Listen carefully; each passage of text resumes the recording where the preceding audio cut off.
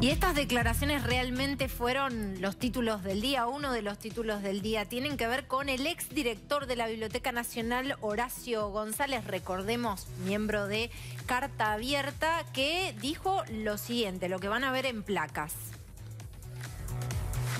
Cristina Kirchner no puede ser una mera vicepresidenta y eh, esto Alberto Fernández no lo puede ignorar.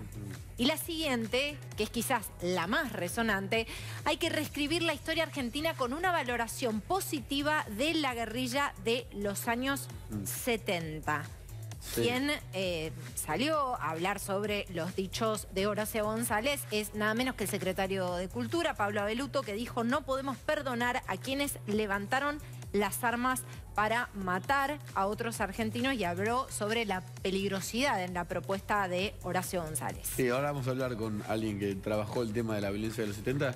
Llaman la atención las declaraciones de González, eh, que siempre fue tal vez más moderado en cuanto eh, a la reivindicación de, la, de gente que eh, tomó las armas, ¿no? En democracia a veces y después en la dictadura, ¿no? dice que hay que reescribir la historia para hacer una valoración positiva de la guerrilla de los 70 y de alguna manera intenta imponerle una posición a Alberto Fernández, y esto es más político, diciéndole Cristina no va a ser solo una vicepresidenta, Alberto Fernández lo tiene que saber. Hay alguien que escribió una historia eh, de la violencia y de los años 70 en la Argentina, se llama Gustavo Noriega, y está en un móvil. ¿Qué tal, Gustavo? ¿Qué haces, Nico? ¿Cómo estás? ¿Cómo andás? En tu eh, todo bien, todo bien. ¿Vos reescribiste la historia de los 70 y hiciste una valoración positiva de la guerrilla? no, no, no reescribí nada, escribí, resumí lo que había pasado, lo que se había escrito sobre la década del 70 y justamente la valoración era en contra de la violencia, toda la violencia que hubo en la década del 70, que se parece, se hablaba solamente de la violencia que había hecho la dictadura y se pasaba por alto un poco lo que habían hecho los grupos revolucionarios. Mira, te muestro el libro, para recordarlo. Sí, el título Diccionario Crítico de los años 70. Ah, ¿eh? Diccionario Crítico. Diccionario Crítico de los años 70, todo lo que se dijo y lo que no se dijo de la época más violenta de la Argentina. Sí. ¿Te llama la atención que Horacio González diga que hay que reescribir la historia para hacer una valoración positiva de la lucha armada? No, no me llama la, atención para nada porque la, actitud que tuvo Horacio en general, esa mirada que tuvieron eh, el, kirchnerismo en general, Horacio en particular, que ha sido parte importante de la intelectualidad kirchnerista, este, me parece que acá lo, que hay que detenerse es justamente en, la valoración de la democracia. Eh, justamente lo que los grupos guerrilleros revolucionarios no, tenían en común este, con la oposición a la dictadura era la valoración por la democracia. Desde antes de la dictadura, ellos eh, no les parecía que eran valores, los derechos humanos, las libertades individuales, les parecía que eran valores burgueses, que no estaban en su escala de valores. Este, ellos luchaban por otra cosa. Este, porque una, una confusión muy generalizada es pensar que todo aquel que se opuso a la dictadura estaba a favor de la democracia. Sí, o, claro, estaba a favor buena parte de los que se oponían a la dictadura, claro, buena parte se, oponía a la dictadura oponiéndola a la democracia y otras porque querían un régimen que era tan poco democrático como el de la dictadura. Ahora, Gustavo Carolina Moroso te saluda. ¿No hay aquí como, Hola, Carolina. Eh, como una eh, operación quizás desde el punto de vista retórico que, que, puede ser traspolable a otras cosas? No sé, pensaba a discutir, bueno, ¿qué es dictadura? Y en Venezuela una dictadura, definamos dictadura como una especie de relativización de los hechos, que por supuesto también es muy funcional a leer como condenable algunas cosas y hechas por otros o perpetradas por otros como casi actos heroicos. Exactamente, me parece que justamente hay una división entre defender el sistema democrático y defender otros sistemas que pone a parte del kirchnerismo, si no todo, en un lugar que no es el lugar exactamente democrático. Por eso tienen tantos problemas con el tema Venezuela, digamos, ¿no? Eh, por eso este, la, condena a Venezuela y, determinar que eh, Maduro es un dictador, que persigue, que mata, este, que no, no, no, ofrece libertades de prensa, no ofrece los tres poderes este, separados, este, tiene muchos problemas con eso entonces, porque no hay un, un compromiso serio con el sistema democrático. Entonces, este, me parece que lo, que lo que se abre el 10 de diciembre del 83 en Argentina, este, hay un consenso favorable a la democracia, pero que hay muchos grupos que no están tan de acuerdo con eso, o que simulan estar de acuerdo en un principio, pero que lo que buscan es un régimen que no está asociado a esas libertades individuales. Entonces me parece que ahí hay un problema. Eh, para vos, Gustavo, de alguna manera estas operaciones retóricas o estos rebusques han calado eh, en cierto sector de la sociedad o incluso en sectores jóvenes, ¿no? Incluso como plantear escenarios de falsas equivalencias. Em, digo, pensaba, vuelvo a traer a, colación, bueno, no, no queremos un régimen autoritario, pero tampoco queremos Marines o tampoco queremos una intervención, pero tampoco hablamos de la intervención cubana. Digo, Em, como e, esos escenarios de, falsas equivalencias?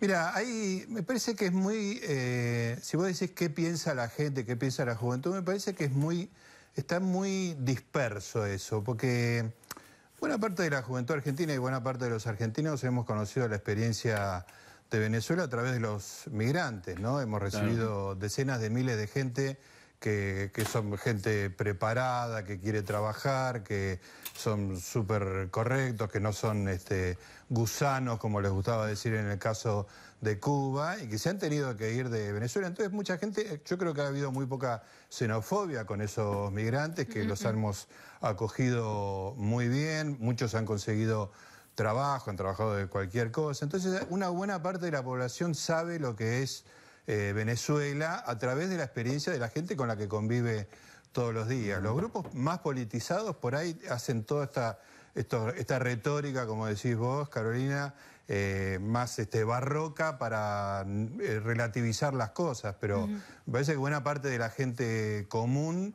que interactúa todos los días con gente que ha vivido en Venezuela y que se ha ido, me parece que tiene las cosas un poco más claras, pero saber cuántos son uno, cuántos son los otros, como siempre en Argentina es muy complicado. Claro que sí. Bueno, aquí está Fernando González para hacerte una pregunta, Gustavo. ¿Cómo estás, Gustavo? Y, es muy bueno. Fernando? Bien, muy bien, y es muy bueno el libro este, de, Gustavo Noriega, eh, realmente recomendable para, para entender un poco ese tiempo donde hay, hay, mucho concepto confuso, ¿no? Lo que yo quería preguntarte, Gustavo, era eh, si también no hay una intención, por lo menos uno la, nota a veces, de algunos de, los representantes, como es el caso de, Horacio González, de, una mirada este, particular de los años 70, de lo que se produjo, de confundir lo que fue, eh, bueno, más de, un millón de jóvenes que se calcula que se metieron en, política en los años 70 este, y que hicieron, eh, impulsaron un cambio muy, muy grande, con lo que fue, en definitiva, este, la guerrilla, ¿no? la acción armada que básicamente era intolerante hacia la democracia, como vos le decías, e incluso hacia adentro, ¿no? porque se reprimía a los homosexuales, se tenía un funcionamiento de ejército, no un funcionamiento este, de sectores democráticos, de jóvenes que militaban en, la política. Efectivamente, y, buena parte de la juventud que militaba en política en ese momento no, no tomaba el camino de las armas. Parece que el caso de la juventud radical es un caso que siempre se mantuvo fuera, se llamaba incluso Juventud Radical Revolucionaria en ese momento, pero siempre hizo un uso expreso de rechazar eh, el camino armado, incluso cuando su objetivo en ese momento hubiera sido más parecido al socialismo. La, opción de las armas fue eh, ejercida por un sector bastante importante de la juventud, pero un sector quizá con la benevolencia de buena parte de la sociedad, misma benevolencia que después le mostró a la dictadura tratando de no enterarse de las cosas que pasaban bajo la dictadura, ¿no? Pero, este, por supuesto, los que ejercieron el, uso de las armas fueron minoría. Claro. Ahora, eh, es un, vos tenés un diccionario crítico, ¿no? De, la, de lo que pasó en los 70. ¿Cómo sería reescribir esa historia haciendo una valoración positiva de la lucha armada. A ver, poner un ejemplo de, la locura o de, tal vez de lo difícil que sería, eh, o no, del hecho concreto de hacerle caso a Horacio González. Bueno, en, la idea de reescritura está buena parte del trabajo intelectual del kirchnerismo, ¿no? de, modificar las cosas este, que pasaron en el pasado. Bueno, el caso del prólogo Nunca Más es, es, muy claro, la apropiación del 24 de marzo como, como, una fecha a celebrar en vez del 10 de diciembre. En todo eso hay, hay una intención de, de, escribir al kirchnerismo en un relato que lo hace como la culminación de un movimiento revolucionario que arrancaba en la década del 70. Me parece muy importante eh, en este contexto y con las palabras que, que dijo Horacio González, pensar un poquito en las fechas 24 de marzo y 10 de diciembre. A uno le llama mucho la atención que el festejo anual, las organizaciones de derechos humanos, este, las juventudes eh, militantes, eh, prefieran festejar el 24 eh, de marzo y no la recuperación de la democracia, que fue el 10 de diciembre. Y yo creo que tiene que ver justamente con lo que yo explicaba antes.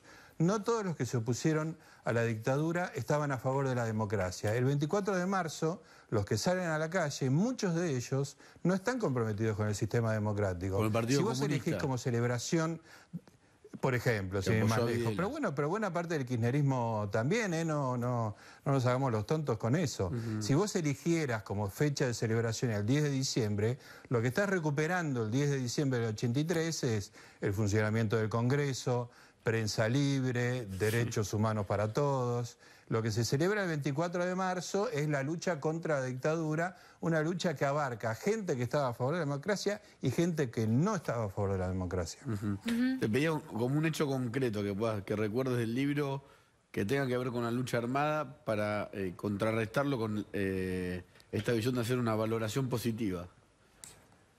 Bueno, es muy claro el caso del ataque al, regimiento de Formosa, que fue un, disparate extraordinario, fue realizado bajo un gobierno elegido democráticamente, como el, de Isabel Martínez de Peró, le costó la vida a muchísimos muchachos que estaban haciendo el servicio militar. Eh, no hay forma de eh, reescribir la historia y convertir eh, esa acción de los montoneros en algo bueno pero de hecho no hace falta reescribirlo, porque la historia argentina de los últimos años reivindicó ese ataque, este, premiaba a los que habían participado y le negaba una recompensa económica a los familiares de los, este, de los soldados conscriptos que fallecieron o fueron lisiados en ese ataque en el ejército de Formosa. Así que en realidad lo que está pidiendo Horacio González es la historia oficial que pasó durante los años del kirchnerismo y que no fue revisada profundamente en estos últimos años. Así que este, me parece que el ejemplo de Formosa es el más claro, pero si uno quiere ir a, un hecho fundacional, el secuestro y fusilamiento de Aramburu es un asesinato a sangre fría.